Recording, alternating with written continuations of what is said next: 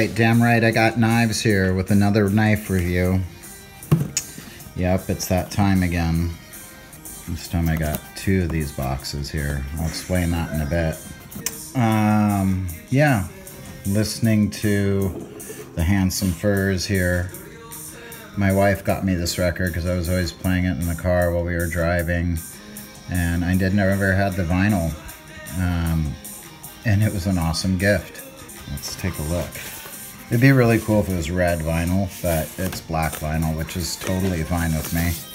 I really like this record. Great singing, great songs, all kinds of stuff going on. Face Control is the name of the record.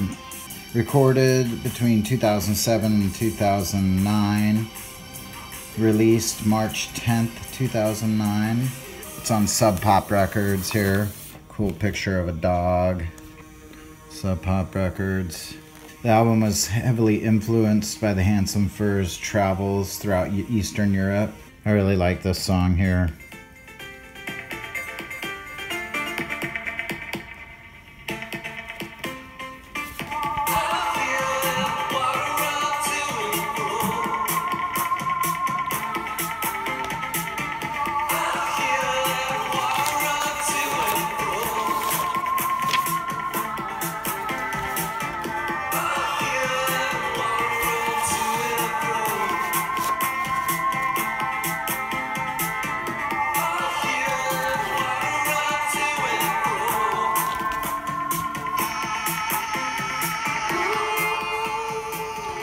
Like a lot of the songs on here. I don't know if there's a song I don't like. I just really enjoyed this record.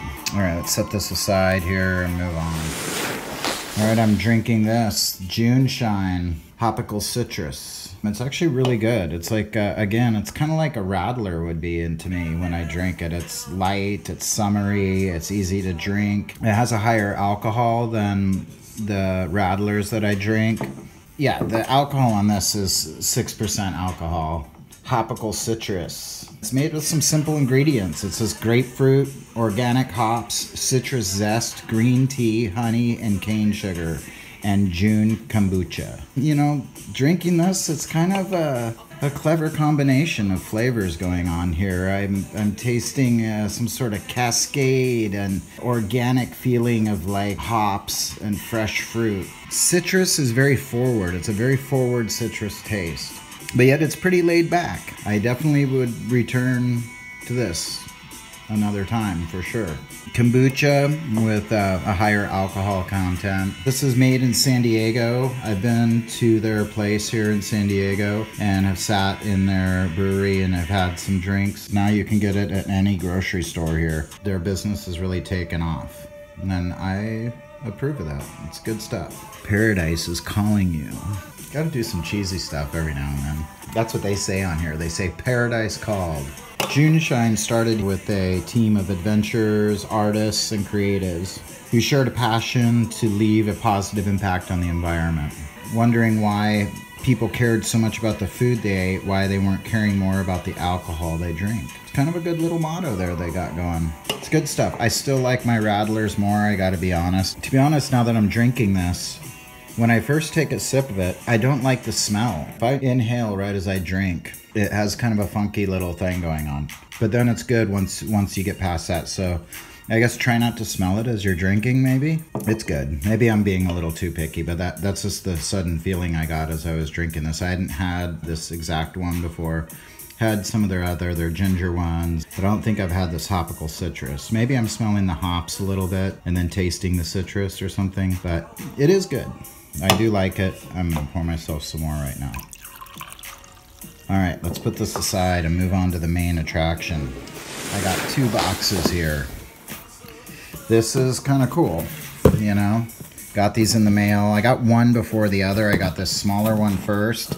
And then I had to wait like three days to get this because I, I ordered them both from Amazon. I don't know why I ordered these from Amazon when I could have got them from other places. I think I was looking at something, I clicked on some links and they were so cheap, it was just a quick decision. Uh, let's just get into it. I'm gonna open these both simultaneously um, and then I'll talk about them a little more.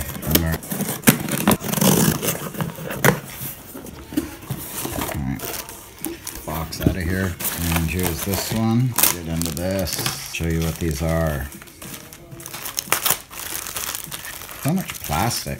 All right. These, I got two of them because they were so dang cheap. I think they were like 30 something bucks for both. Kind of got turned on by the functionality, the opening, and the deployment of these knives. They just looked so cool and they were so cheap. And I thought, yeah, get these, check them out. I like this cardboard box that they come in. I can kind of picture them just being nice and cheap, hanging in a nice hardware store in New Zealand somewhere. Made in New Zealand. The peasant knife by Svord International. The box is cool, it's simple. That plastic that it came in was kind of weird, but then look at this. Peasant knife. Available only to first class peasants. Are you good enough? And it's a cool little picture of this guy there sitting on a knife, holding a knife, cutting some cheese, it looks like. It's bigger here. Cool packaging. I kind of like that. It's just different, you know. I like that. You like that they left the hole here that you can see what the knife is, the color that you're choosing. Let's go ahead and open the set and get into these. So obviously these are two different sizes. There's that one and there's the bigger one here. Let's see what this says in here. Oh, okay. Peasant knife, available only to first class peasants. Are you good enough? Not just any old knife. It's just telling you a bit about the knife. I'm to read this later. I'm not to put you through it, but that's cool. Product warranty. Yeah. So I'll set these off to the side and we'll get into the knife. So what's cool about this is, well, first of all, let's look at this. Made in New Zealand, it says right here on this one. Doesn't on this one. That's interesting. Um, they got these big flathead screws going on. They're completely at different levels. This one's poking out a little, this one's that. I'm imagining the fit and finish to these is not going to be that great for the price, but I'm expecting that they're probably really durable is what I'm thinking. So, and this one looks horribly dirty. Um, we'll see if that's just grease or what when we get into it. Let's let's try the small one first. The handle material is a polypropylene, you know, just a plastic like stuff. Kind of slippery feeling. It's not like G10 at all or micarta. It's not slippery, but it's not super grippy either. But it doesn't feel like it's gonna slip out of my hand or anything. What I like about these, first of all, this sits in your pocket and you can just pull this out. You can just grab onto it really easy. You could put it, I suppose, hang it on a bench, you know, hang it from a nail. You know, you could do it on a keychain, but that would just be way in the way. One-handed deploy, which is cool. And you open it like that.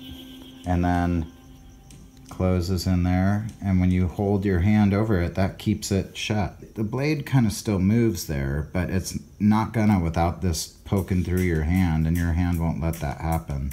It's not a lock locking knife, but it's, you know, if you're cutting this way, that's not going anywhere. You're gonna cut some rope or cut something. If you were to bang it here, it would just bang into your hand. I really like how this blade is done. It's really dirty and not finished here and then polished here. I just really liked these. I saw one video on them and I just was like, that is cool. I mean, just a cheap little knife to throw around. They did come pretty dirty though. Let's see what this one is. Here's the bigger one. This thing's bigger than I thought. Wow, look at that. That thing is big.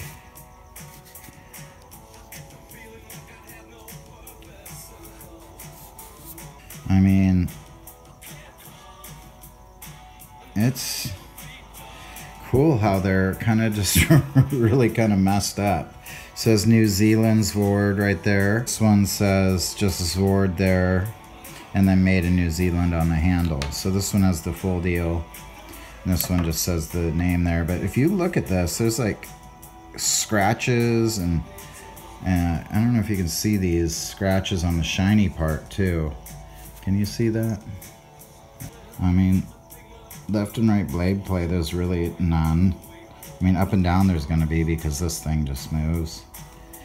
But there they are. Let me tell you a little about them here. The mini blade is 2.5 and the larger one is 3. Well, let's get out the tape measure. They say 5.5. Hmm, that must be the larger one. Their overall length is 6.75. that looks about right there. The handle seems to be about 4, 8.25. That looks right, 8 and a quarter. The blade material is a Sandvik 12C27 stainless steel, carbon steel on these blades. Handle material, a white Zytel is what this is. And then I guess with the black one, it's a polypropylene. It's just, you know, it looks like an old knife that your grandpa would have around in his workshop. And you'd be like, what kind of knife is that? That Why is it like that? And that is why right there. Just one-handed, you're working with something and you can just open them like that, you know? So if you're working, you're holding something, you need it, you just do that and you can cut. Um, you can close it with one hand too. I think the big one's probably going to be a little harder to close with one hand. It feels like it is, but yeah, you can still do it. Get your fingers out of the way and then those are cool. They're like, they look like little chili peppers in a way, you know? I really like those. Those are great. All right, let's see how sharp these are. Let's start with this one.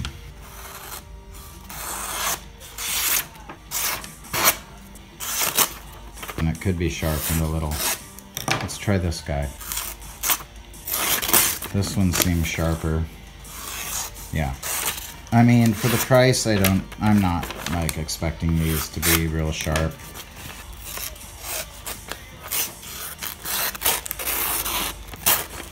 Alright we kind of got that.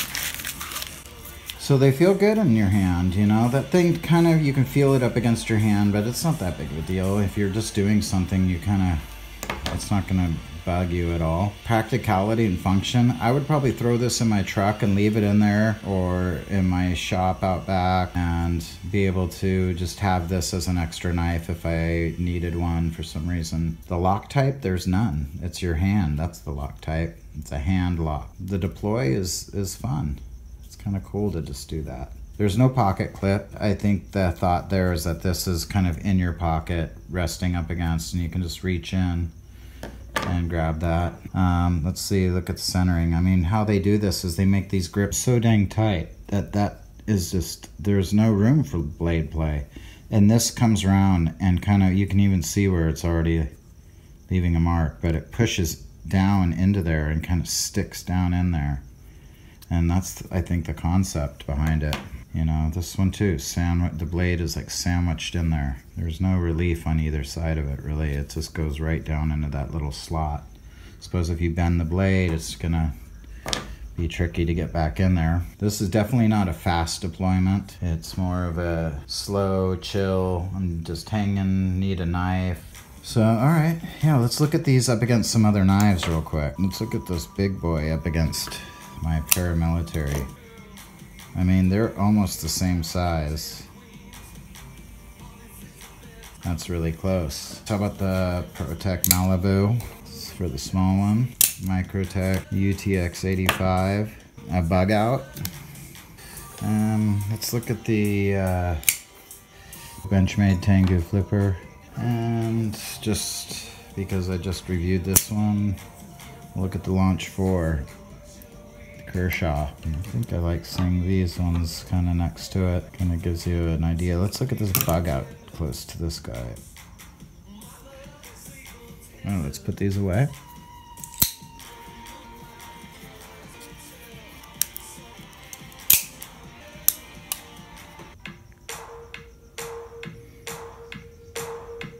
All right, there we have it. Damn right I got knives. See you next time the Svord peasant